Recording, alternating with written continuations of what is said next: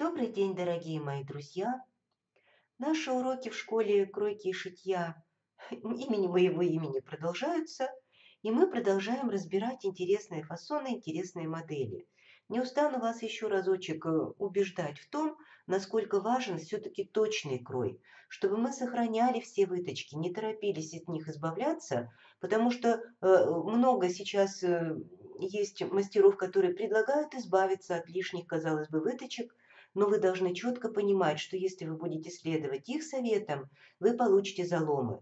Если для вас это не важно, то, пожалуйста, следуйте этим заветам. Но если для вас важна точность кроя, э, аккуратная посадка изделия на фигурке, то не пренебрегайте. Итак, сегодня у нас э, с вами задача смоделировать вот такой вот интересный фасон.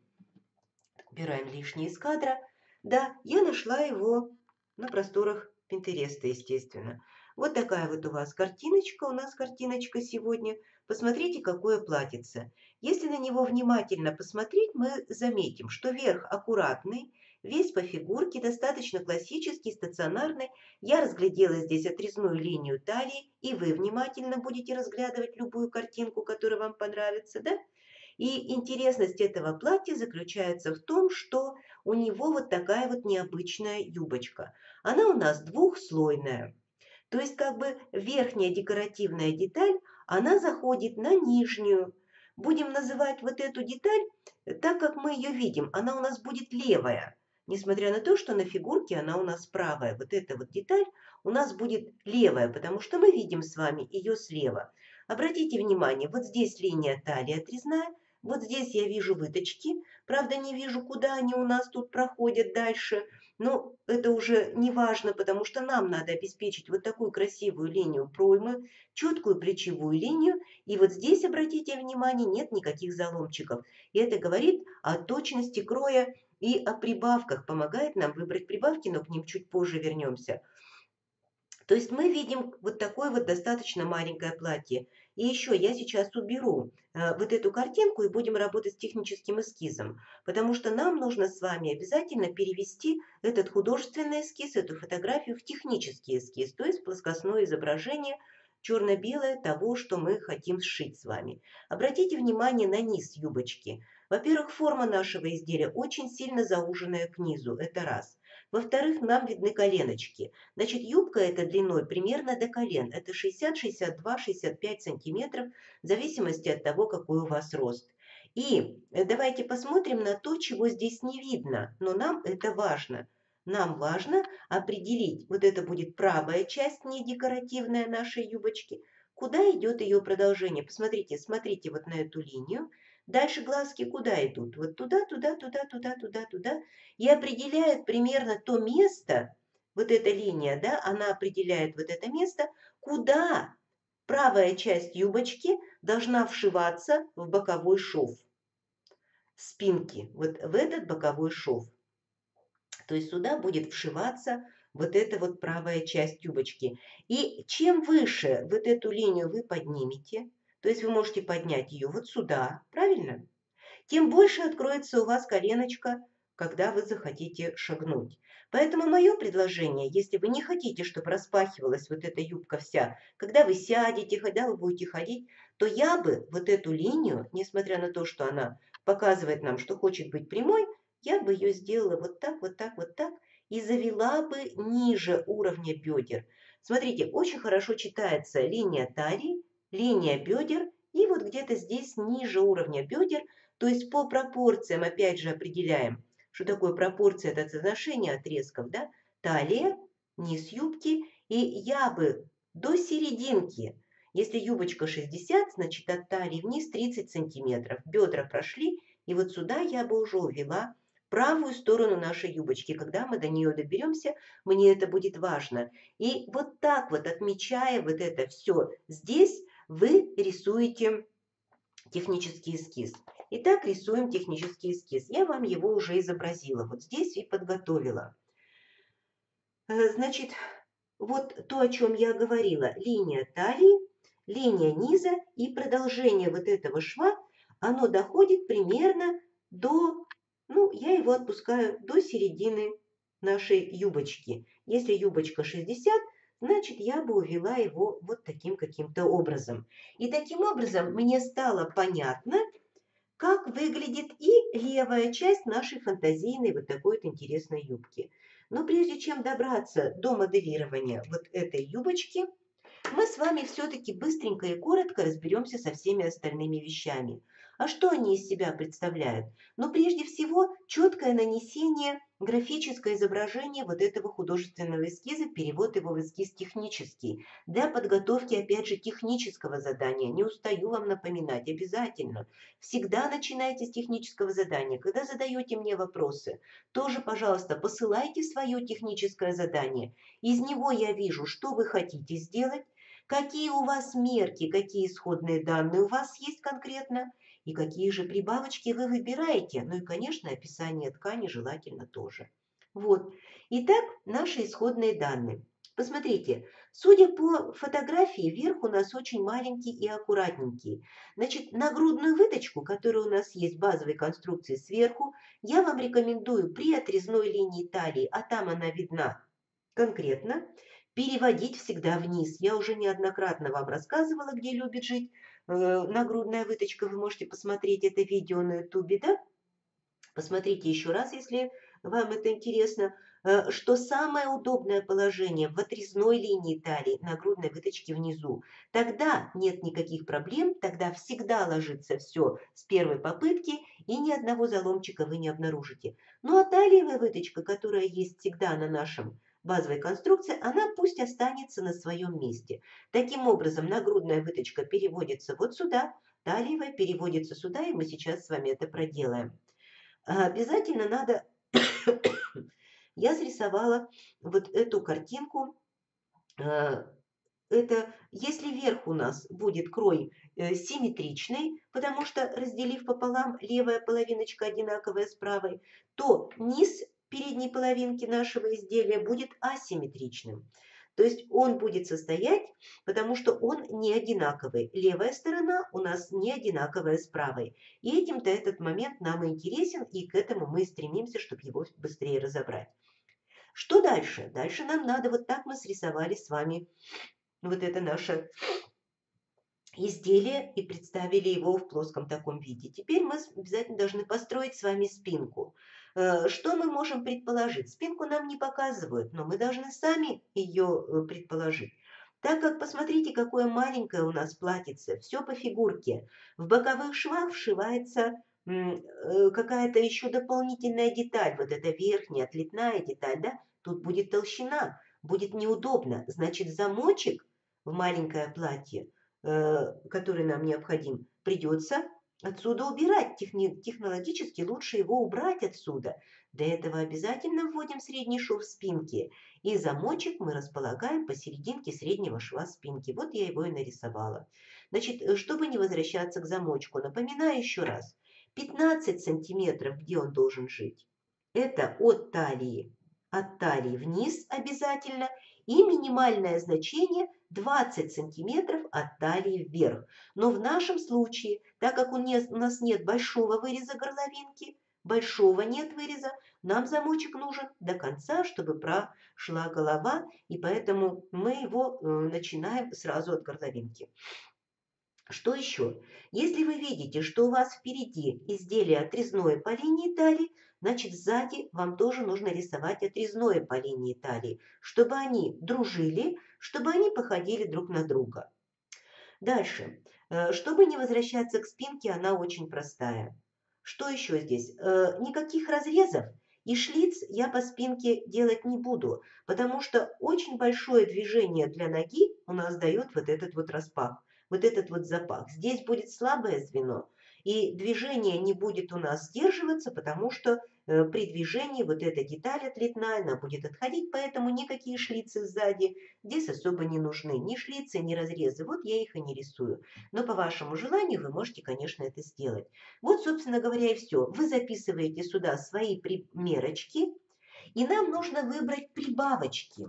Значит, как я, вы уже неоднократно услышали от меня, что мы видим? Мы видим очень маленькое платье, мы видим платье практически по фигурке. Значит, и прибавки нам надо выбирать самые маленькие. Из какой ткани мы подобного рода платье будем шить? Это можно шить и из обычной ткани, так как замочек во всю спинку вы в него войдете. Это можно шить из ткани немножко стрейч. Можно, конечно, шить и э, для полненькой фигурки, и для, скажем, джерси какого-то трикотажного, да, варианта такого плотненького, достаточно формоустойчивого джерси, тоже получится хорошо. И поэтому прибавочки выбираем маленькие. Итак, прибавка по груди 3 сантиметра я бы оставила. Прибавка по талии 1 сантиметр или 0. 0 даже 1 сантиметр. Это у кого какой вкус и кто как любит. Я своим девочкам, подружке своей Оле и Аленке, дочке, я всегда шила с нулевой прибавкой, потому что они так любили. Ну, вы можете 1 сантиметр брать, чтобы не было в обтяжку. Прибавка по бедрам 0 сантиметров, мои хорошие. Мы снимаем, ну, тире 1 опять добавим, да, это на любителя. Мы снимаем мерочки достаточно плотно, э, вернее, достаточно объективно по бедрам. Я не затягиваю вас э, сантиметровой ленточкой. И к тому же меряю всегда еще на какую-то одежду, юбочку, брючки там какие-то, да, и поэтому всегда ваши бедра будут немножко больше, чем реальные уже при снятии мерок. Поэтому спокойно здесь пишу 0. Будет компенсация. И рукавчик здесь показан не широкий, достаточно узкий, поэтому прибавка к охвату плеча, это я люблю 4 сантиметра. Можете брать 3 сантиметра, если ткань у вас хоть немножечко тянется.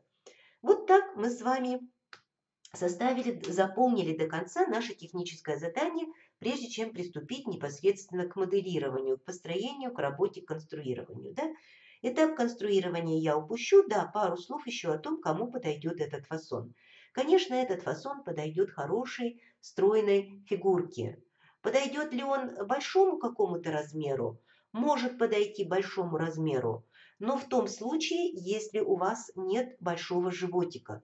Потому что все, что есть вот здесь, вот эти вот драпировки в области живота, да, они этот животик могут сбоку увеличить. Спереди это будет не видно, потому что нулевые прибавки, и вот это все будет растянуто, это все будет закреплено в ноль, то есть это будет достаточно плоско выглядеть. Да, вот эта часть, она будет плоской, прибавки нулевые, возможно, даже минусовые вы вот это все затянете, да, но если вы хотите, чтобы и сбоку вас не увеличивало, то лучше как говорится, не рисковать, если есть все-таки животик в наличии, я бы такой фасон э, предлагать не стала.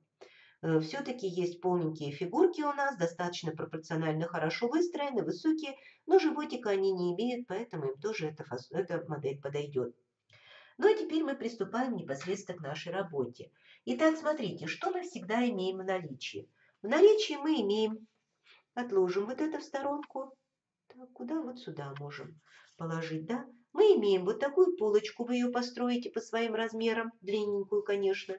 И вы построите вот такую спинку по своим размерам, тоже, конечно же, длинненькую, да? И вы построите вот такой рукавчик. И вы построите вот такой рукавчик. С рукавом я работать сегодня не буду. Вы можете сделать его каким угодно. Вот внешний вид показан. Э, выточку локтевую обычно перевожу в посадку. И эта история нам сегодня не интересна мы ее уберем, не будем на нее даже время тратить. Нам интересно вот это.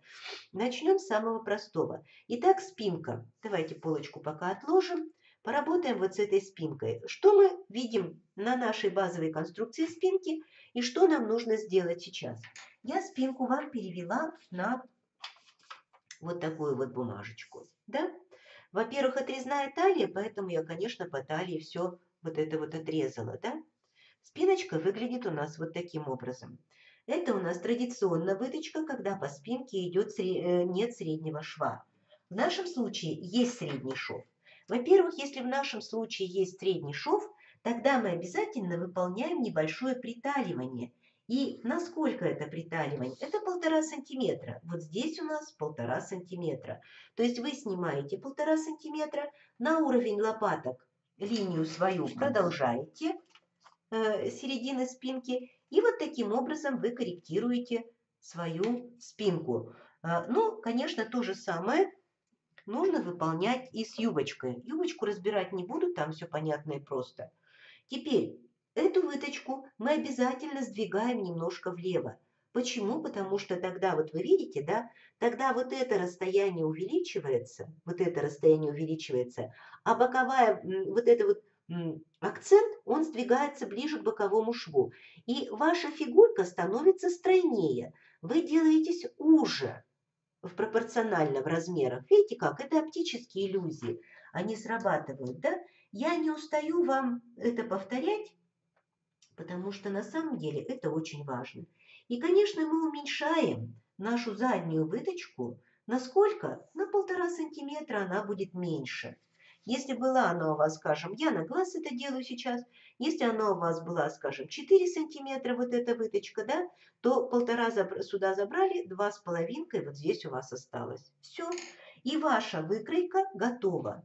Ну, что еще с этой выточкой говорить? Как я уже говорила, пренебрегать я ей не люблю, потому что точность кроя – это очень важно. Можете перевести ее в горловинку, но рекомендую ее всегда оставить, потому что выпуклость лопаток есть. Если ее игнорировать, вот здесь родятся заломы. Даже если вы очень худенький человек, лучше этого не делать. Все, со спинкой мы разобрались. Она у нас готова, откладываем ее в сторонку. Работаем дальше с полочкой. Вот такая у нас полочка. Что мы видим на полочке? На полочке мы видим с вами, что нагрудная выточка, которая в базовой конструкции у нас находится вот здесь, она переведена в линию талии. Поэтому спокойно из точки С вниз проводите либо перпендикуляр, либо чуть-чуть вот так поворачиваете линеечку и делаете такой вот небольшой наклон. Ну, сделала я вот такой небольшой наклон. И разрезаем, естественно, по, этой, по выбранной нами линии вот эту нижнюю часть, чтобы получить вот этот вот отрезочек. Закрываем после этого нашу выточку. Закрыли и сложили вот так вот в стороны. Все. Так, вот появилась у нас, вот это, в этой части появилась. И талиевую выточку можно немножечко тоже сдвинуть вот сюда ближе к нагрудной выточке и уже в этом месте ее оформить.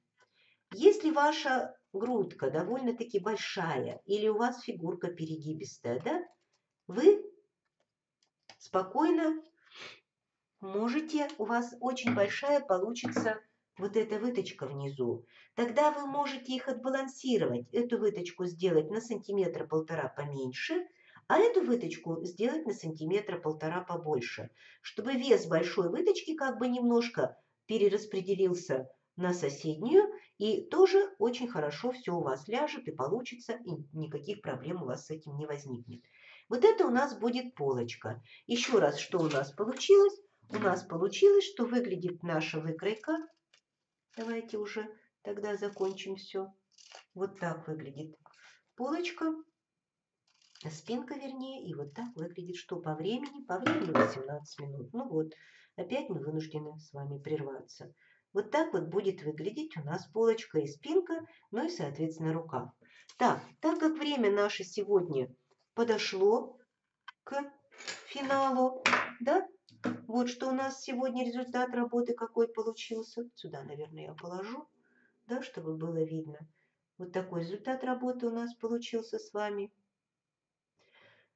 то мы на сегодня прерываемся и, как всегда, продолжение следует. Подписывайтесь на мой канал, ставьте лайки. Всегда ваша Галина Коломейка.